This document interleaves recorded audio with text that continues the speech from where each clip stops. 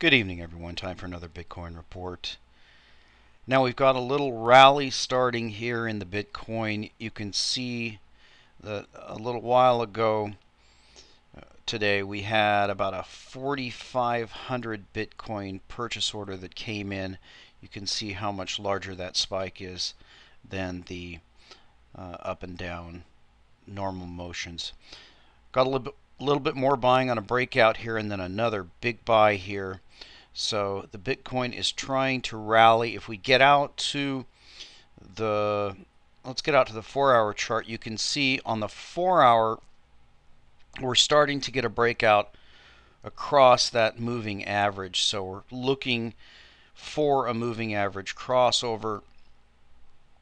As we go further out, you can see that uh, that's finding support. It's not finding support at the low prices, which are going to be about 63, 54, and 50, but it is finding support right at these candlesticks. So if we do get a crossover of this moving average here, that's going to take a move of about 100 to actually get a crossover confirmation. Uh, that could be a bottom. Now, if we start to look at the depth here, of course, if we go all the way out, uh, looking at the other day, we spiked all the way up to 150,000 total bitcoins offered. We're down to 130,000 and uh, up to that. Let's just go up to that 100 price here. We've got about 37,000. Go up to 150, we're at about 100,000 offered. So there's a lot of bitcoins for sale, but they're the vast majority of the bitcoins that are for sale are for sale above 100. Now on the bid side, you can see we've got about 65,000 bid at 55 and about 30,000 bid at 60. So it's still pretty thin here at the margins, but it does appear that there's some buying coming in. Now I wanted to talk about this ASIC miner controversy. It's been going around, a lot of people talking about it, and I have quite a different take on that. But before I do that, I want to go over and uh, take a look at the story about the Winklevoss twins. And uh, this is an interesting story. Uh, I'm initial my initial reaction is, of course, since they're universally hated, uh, I would tend to wonder maybe if they're right. But uh, when we dig deeper into this and think about it, we'll see what this plan is and, and why it may be, uh, in my mind, the beginning of some type of sabotage of the Bitcoin. So let's read a little bit of this. Bitcoin has been promoted as an alternative cryptocurrency that exists outside the realms of government central banks. Now, two backers of the digital money are seeking to bring Bitcoin into the investing mainstream if they win the approval of the United States government. So they're going to need government approval to get this ETF.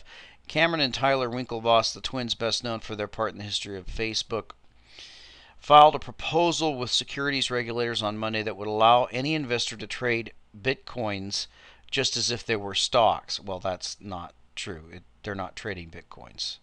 It's an ETF. We'll see that below. The plan involves an exchange traded fund, which usually tracks a basket of stocks or a commodity, but in this case would hold only bitcoins. It is part of a broader effort to remove the stigma hovering over Bitcoin and other online money endeavors, which have faced a barrage of regulatory questions and enforcement actions. Recently, the world's largest trading, etc. The proposal from the twins, who already have sizable Bitcoins holdings, is an audacious one. The Winklevoss Bitcoin Trust could send digital money from the realm of computer programmers, internet entrepreneurs, and a small circle of professional investors like themselves into the hands of retail investors, virtually anyone with a brokerage account. The trust brings Bitcoin to Main Street and mainstream investors to Bitcoin, said Tyler Winklevoss co founder of Math Based Asset Services, which would operate the proposed fund. Quote, it eliminates the friction of buying and reduces the risks associated with storing Bitcoin while offering similar investment attributes to direct ownership. Their proposal has the advantage of coming from the desk of Kathleen Moriarty, a lawyer at Katten Muchin, who played a leading role in the creation of the first exchange traded fun and popular gold silver backed ETFs. So let's compare this to gold and silver backed ETFs. Now, I've pointed out for a long time on my silver channel that it's my opinion that the purpose of the gold and silver ETFs was nothing more or less than to try to divert investment demand from physical gold and physical silver into a piece of paper that represents physical gold and physical silver. So, uh, as these very, very rare metals are beginning to be scarfed up by investors around the world, especially with India uh, trying to stop their citizens from buying gold and uh, delivery problems around the world. Uh, a lot of the investment demand for these precious metals has been diverted into these ETFs. Now, for the most part, you can't take delivery of the underlying asset with the silver ETF, I think it's like 10,000 ounces or some ridiculous amount. So it's not like you can just decide, well, I bought this much, now I want my silver. Go ahead and send it to me. That's not how it works. Uh, the only redemptions and allegedly redemptions are very large funds, etc. So that's going to be one of the key issues with an ETF is can you redeem the underlying asset if you decide to cash in your shares. Now, that's a question I don't know, and that's very difficult with the Bitcoin. Uh, they certainly could do it if they chose to do it, and for in my mind, that's going to be the absolutely critical factor. Is are they going to offer redemption of the bitcoins anytime someone decides to cash out? The other question, of course, is are they actually going to have the bitcoins for every share purchased and how are they going to prove that they have the bitcoins we know with the ETFs there's really no way of knowing whether the gold and silver that are allegedly in those ETFs is actually there and that's a very very large problem it's not like it's logistically impossible to do so you could have numbered bars and of course they issue the bar lists that have multiple anomalies with them. But uh, as Jason Hommel has pointed out, you could do a video of the vault showing the numbered bars, etc. Now, what that would be with Bitcoin, I really can't say. It would take some deep thinking to think about how are you going to authenticate and verify the actual holdings of the Bitcoin trust. I guess there would be a way if uh, you could display the wallet address and the transactions related to it. Uh, I just haven't thought it through enough to, to know. But we'll have to wait and see. Uh, it's clear that uh, if this were to be a success and it were above board, then this would be a way for a large number of investors who can't get their money into Bitcoin, whether that has to do with uh, financial restrictions or whether that has to do with just uh, a learning curve problem. This would open the door for a tremendous amount of money to flow into the Bitcoin if it were above board. Uh, then again, if it weren't above board, this would end up being a gigantic diversion, just as it has been with gold and silver, from keeping real funds flowing into those assets, but being diverted into a, a fake sort of pool. So I'm going to say the jury is still out on this. And I think if the Winklevoss twins are serious, they could uh, provide a lot of checks and balances so that people could know that this thing is legit. And the next story I want to talk about here is the ASIC miners. I'm going to call this the ASIC panic. And a lot of stories have been uh, going around about the ASICs and how they're a danger to the Bitcoin. I want to read a little bit of this story and then discuss this. Uh, AMC announces 4.8, uh, I guess that's terahashes, uh, Bitcoin miners for 3,000 BTC. Yesterday, AMC announced they will be joining the ranks of ASIC Miner, Avalon, Butterfly Labs, and KNC as an ASIC chip manufacturer Two days ago, Active Mining Corporation posted they had a large announcement and would be preceding it by selling 2 million shares for 0.0025 bitcoins each, totaling 5,000 BTC. As many advocates had predicted, the announcement was the preliminary results of their ASIC chip development. The self proclaimed world's fastest Bitcoin mining chip will use 20 nanometer technology estimated to run at 16 to 20 gigahashes per second. This is an estimated 70 times increase over Avalon's 280 megahash chips that would start that should start shipping next month. AMC expects low rate initial production to start Q4 2013 and ramp up full rate production Q1 2014. So I wanted to talk about this controversy. Now they've talked about on it on Let's Talk Bitcoin the issue of is this a danger? Uh, are the ASIC miners a threat to Bitcoin? And, and the issue being, will there be a 51% violation and a hard fork? And and some of the solutions proposed. One of the ideas was that supposedly Satoshi's vision was that it was one CPU, one vote. Now, I have to say, as a free market person, to me, that is just a stupid, one of the stupidest ideas you could come up with. Uh, a free market is not a democracy. A free market is about one dollar, one vote, or one Bitcoin, one vote. In other words, uh, the prices in a free market are determined by uh, the economic strength of the players. Now, uh, barring some sort of monopolistic control and a lack of competition, that's something that is beneficial to everyone. And I think that uh, we're seeing that with the rise of the all these companies involved in the ASIC miners. So if we would have stayed with this idea of one CPU, one vote, which obviously couldn't even be implemented because there are CPUs that are i7s, there are CPUs that are Celeron, so that's not even possible.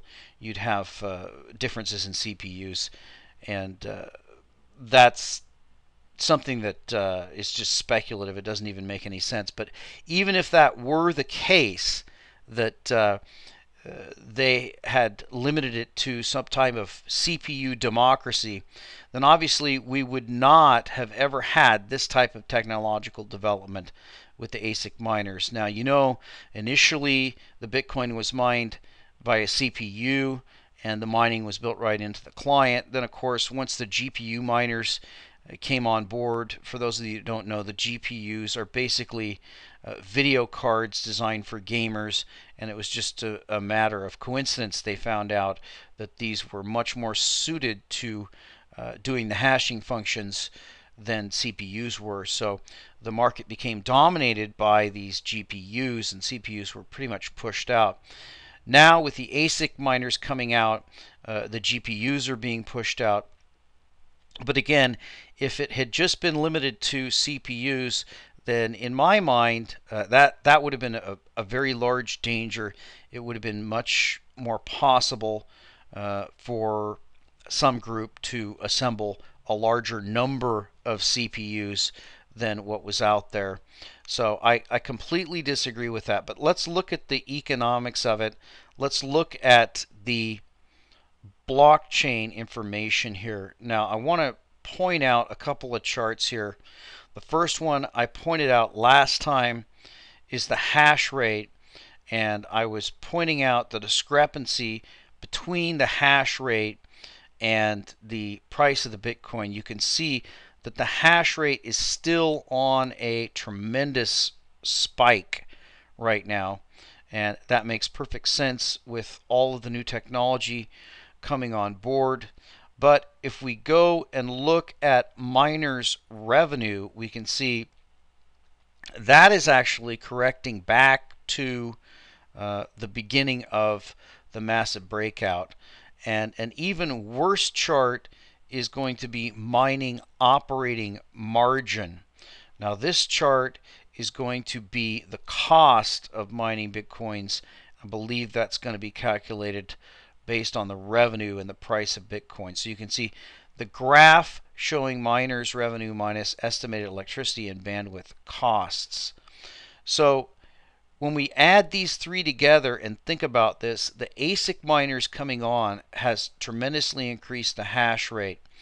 But the miners' revenue and the mining operating margin is rapidly falling. Now, probably initially there were some of the early ASIC miners. My guess is that they probably found it more profitable to hang on to those machines and just mine and make a larger profit uh, just mining bitcoins and then and then ship them later. But now with the rush being on, with a large number of companies rushing into this ASIC mining, with the miners' revenue falling, with the mining operating margin even becoming worse, it's going to be in the interest of these companies to push out and deliver these machines as quickly as they can. And of course, as they improve, uh, it's going to make the others obsolete. So, this is exactly how the free market works. And uh, I don't think there's any danger in this. I think that the Bitcoin is operating exactly how it was designed. It's just that no one could have foreseen that uh, there would have been this acceleration in technology for mining. That's a good thing. I think once this ASIC mining technology is is fully deployed, and I'm sure there will be a technology after this that uh, even increases it much faster. Uh, there's just going to be more power to the Bitcoin network, more distribution. I don't see this as any kind of problem or threat.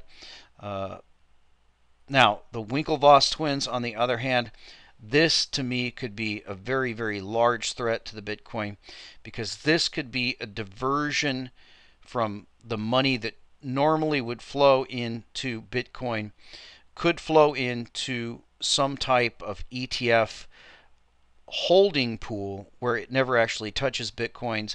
Hopefully, the Winklevoss twins are going to uh, be above board and honest and uh, have an open book on everything and have a technology where people can verify that they actually are invested in certain bitcoins and they aren't uh, in essence double spent or double invested and uh, there isn't uh, a rehypothecation of bitcoins and uh, so we're going to watch the bitcoin chart here it's interesting that we're starting to find a bottom with these news stories coming out uh, money is flowing back onto Mt. Gox apparently now that they've opened back up and we're having a fairly strong rally if this is the bottom, I will expect, and again, that confirmation will probably be given on this daily chart. I expect a confirmation of the rally to be around 90 or 100 dollars. If that's the case, then I expect to run up to test that 170 and eventually we're going to test that 266 high. And we'll talk to you next time.